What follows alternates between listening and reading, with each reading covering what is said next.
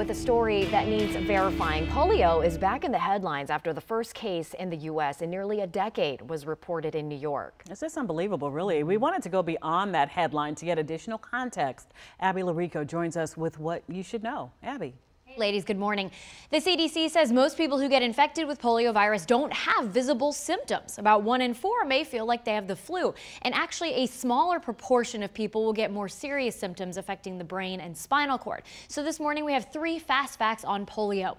Our sources are the Centers for Disease Control and Prevention, the World Health Organization, and Dr. Samina Evers with Novant Health. First question we have here is how does polio spread? The WHO and CDC say polio primarily spreads through contact with fecal matter that gets in your mouth. It could be by touching a contaminated object. So it's a good idea to wash your hands before you eat to protect yourself. Is the oral polio vaccine given out decades ago still effective? You might be asking this question.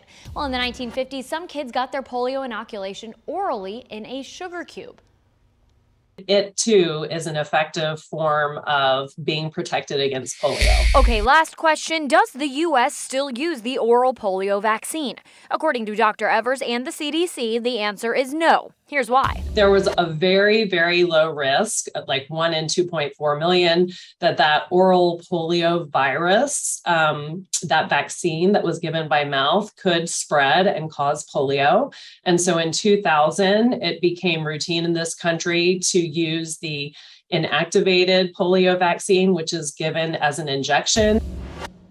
Some countries still administer the polio vaccine orally, though, because it is easier and it's cheaper. Polio is a serious disease, and as we mentioned, it can have serious consequences, but poses it poses the highest risk for people who are unvaccinated. Luckily, millions of Americans are vaccinated against it. The shot is actually required at schools around the DMV as part of that list of requirements to go back to school. Annie, Allison?